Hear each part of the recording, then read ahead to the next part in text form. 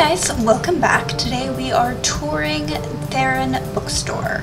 So you can kind of see the outside, we've got some electric bikes, the little parking lot over here. We've got a cute sign out front including a little chipmunk. And then we go to the front, which I decided to leave the lights in the front. I just added some newspapers and a trash can. We've Got a little sign showing the hours. Please ignore the pink balls, those are not supposed to be there, but I can't get them to go away.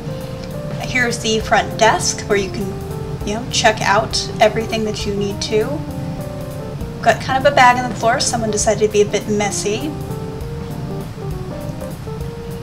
Got some books for sale. We have our little podcast slash author room where authors who are visiting the area come to sell their books, do readings, that sort of thing. There is a bird in the corner who is a lovely white cockatiel. We have our children's area, which is a lot more toys than books, but it does keep them occupied, and it gets them used to being around books, which that's that's step number one. And I can see all of the books that I have stacked on these shelves, which was so much fun, but took so long. Uh, over here we have the little cafe. They sell some pastries from a local bakery, and they also do espresso, so you can get your coffee fix.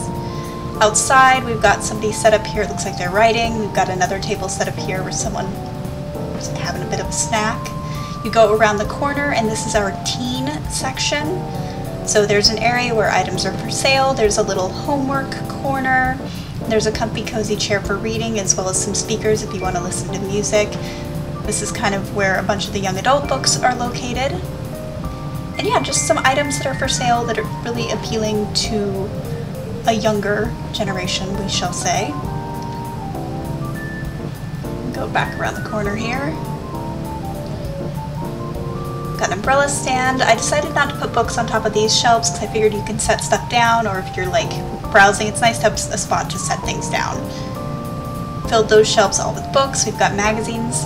Over here is our little reading area where you can either read yourself or if there's a book club currently meeting, this is where they're going to meet. Yes, they have a little gecko friend there as well. If you go around the bookshelves, which really was my main focus, I wanted to put more bookshelves in this lot, we have the employee area and also office for the owner of the business to balance the books and throw darts at Don Lothario. And there is a bathroom. I didn't really redecorate that. It didn't seem necessary. I kind of poke my head in there, but yeah, I didn't really need to see it. And otherwise, this is pretty much the lot. So let me know what you guys think of it. I'm not going to be putting it up for download because there's too much CC, but I really appreciate you watching. If you like this video, definitely give it a like. If you like what I do, subscribe. And with that, I will see you in the next one.